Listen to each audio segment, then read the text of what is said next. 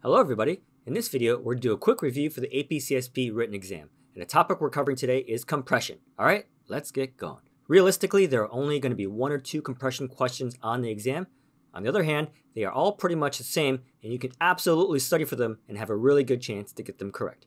So first, I'm going to go over compression super quick. I'm assuming you've seen these concepts all before. Compression means smaller files, and smaller files are good because smaller files means that you have more space on your phone or your computer. And smaller files also mean that it's faster to send a file over the internet. A smaller file is faster to send. There's two kinds of compression, lossless and lossy, and I'm going to compare the two right now. Lossless compression, the most important thing about it is that it's reversible.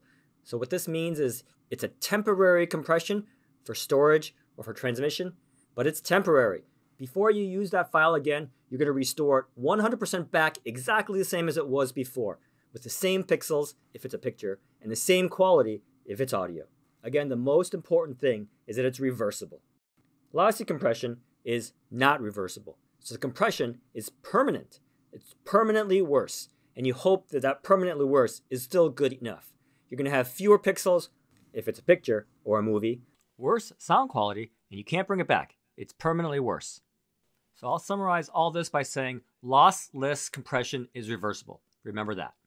So you may wonder why you would ever use lossy compression, and here's why. It's because with lossy compression, you can compress a lot. Lossless compression usually is only going to give you a little bit of compression. So on the exam, you might get a question asking, what kind of compression should I use? Just remember, lossless is reversible, lossy means you get big compression. The other concept you might need to know has to do with mechanisms. So lossless compression, the mechanism is to find a pattern. So if I have AAABB, I can rewrite that as 3A2B and save characters, which saves me space, compression.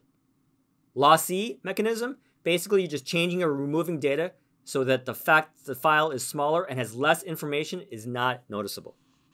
Less important data, so that even though it's not quite as good, you can still tell what's going on.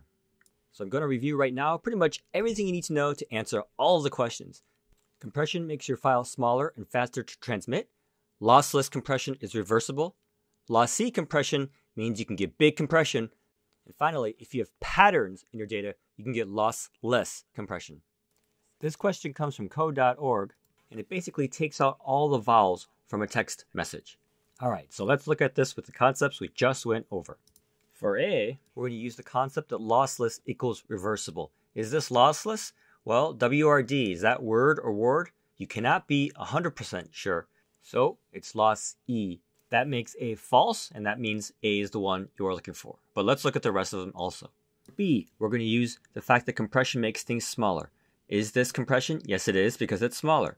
So B is true, and it's not the answer we're looking for. We're going to use the lossless equals reversible concept but it's really just the opposite of A, so it is again not the one we are looking for. For D, we're going to use the fact that compression means faster internet transmission. So D is true, and so it's not the one we're looking for. The answer we're looking for here is A, because A is false, and we're looking for the one that's false. The question is basically asking when I would prefer lossy compression. For A, we're going to use the concept lossless equals to reversible. So answer A is basically describing a loss less situation, and that's not lossy. So A is wrong. For B, we're going to use the fact that lossy equals big compression. So if I'm short on space and I need maximum space, that does fit. C describes basically a reversible compression. For me to know 100% what that is after it's compressed, that means I can reverse it. So reversibility is associated with lossless compression, and that's not what I'm looking for in this question. The last one, when I have unlimited internet bandwidth.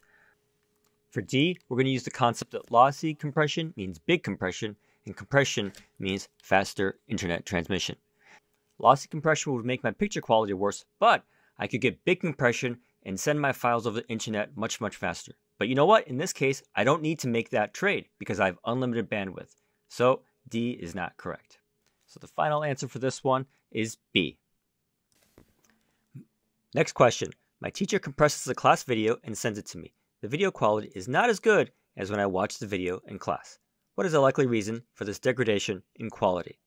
For the first answer A, we're going to use the concept that lossless is reversible. So if the teacher compresses the video with lossless compression, it should be 100% reversible and I should be able to see it in its original quality. And this is not true according to the question. So it's not A. B is a little bit of a trick. You will learn about undecidable problems in this course, but it is not related to this question.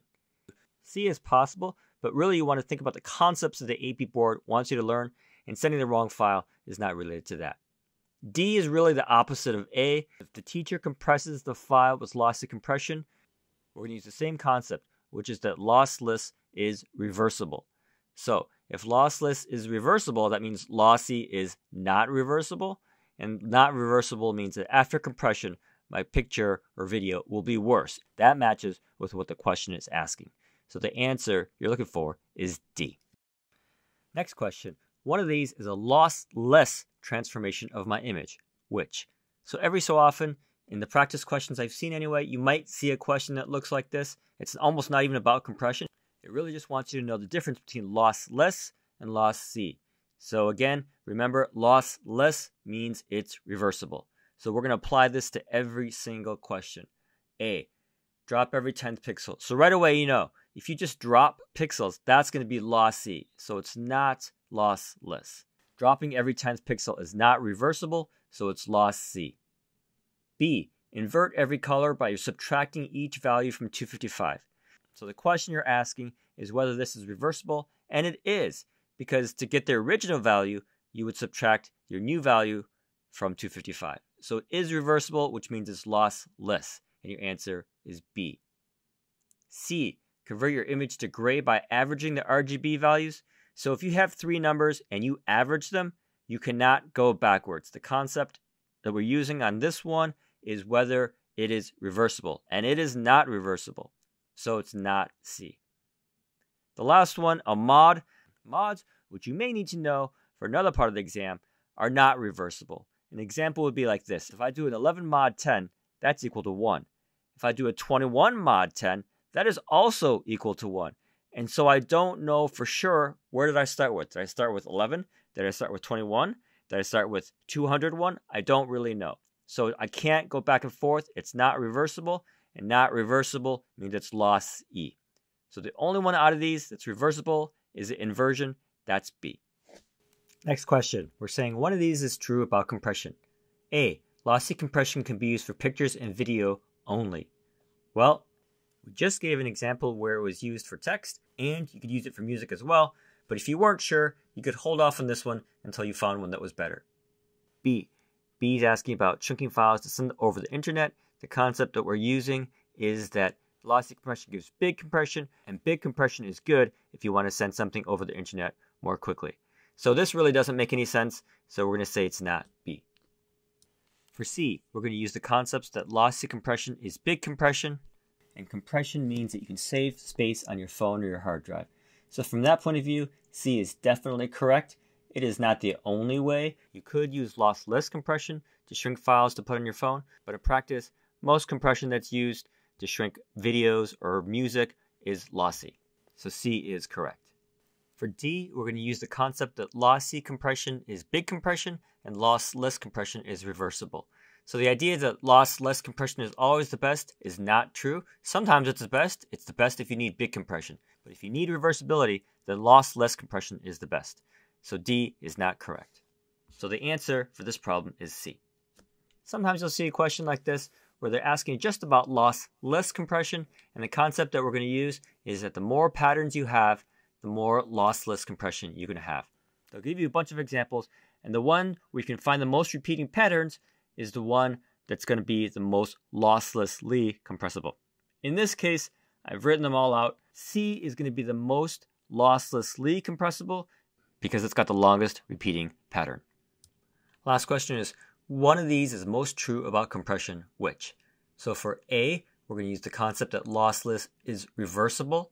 So if lossless is reversible, uh, lossy is not reversible. So A is wrong. For B, we're going to use that same concept. The answer is saying that a compressed video has the same number of pixels.